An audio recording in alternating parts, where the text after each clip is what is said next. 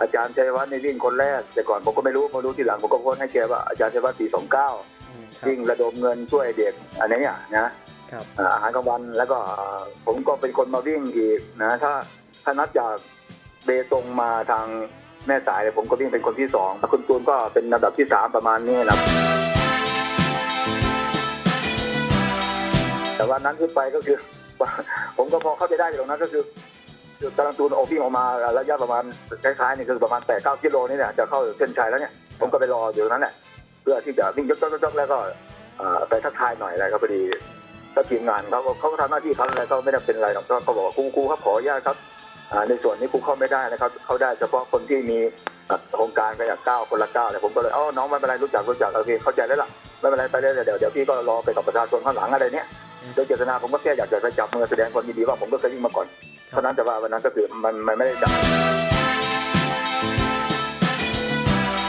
เอ่อเขาเขาก็ไม่ได้เชิงล็อกตัวอะไรมากมายก็คือจับเสื้อที่มันเป็นเสื้อเขาเรียกว่าเสื้อสะท้อนแสงนี่นะอืมเขาบอกครูเขาก็เรียกผมครูอยู่ครูครับขอครับขอร้องจริงๆครับครูตรงนี้ครูเข้าไม่ได้นะครับเฉพาะก้าวคนละก้าวนะครับพอพอโดนโดนกระแสเอ่อว่าผมมาผมก็เลยประมาณว่าเอ้า ทำไมอย่างนี้ไม่ได้แล้วคนกินคุณรับไม่ได้แล้วประมาณอย่างนี้แหละผมก็เลยโพสต์ไปประมาณนี้ก็อาจจะแรงไปหน่อยที่ผมบอกว่าโอ้ยมันก็เป็นพระเอกคนเดียวที่น้องคนอื่นก็คือประมาณอย่างนี้แหละผมก็ก็พูดไปตรงๆนี่แหละพูดง่ายไม่ได้ไม่ได้ตั้งใจว่าจะต้องอยากดังด้วยไม่ไม่ได้เป็นอย่างนั้น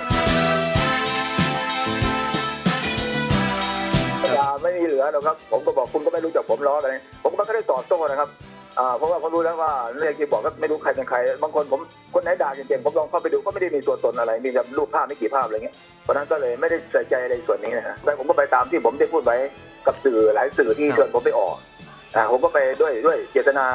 ยินดีจริงๆนะครับไม่ได้ว่าอยากจะดงจะดังอะไรนะครับคนที่ด่านี่ผมไม่ได้ซีเรียสอะไรครับผมรู้ว่าน้องๆเขาก็เหมือนกันนักเรียนคีย์บอร์ดไม่ไม่รู้จักใครไม่รู้จักผมหรอกอะไรเงี้ยครับการสร้างกระแสอะไรเงี้ยครับผมก็ไม่ได้เป็นไรครับ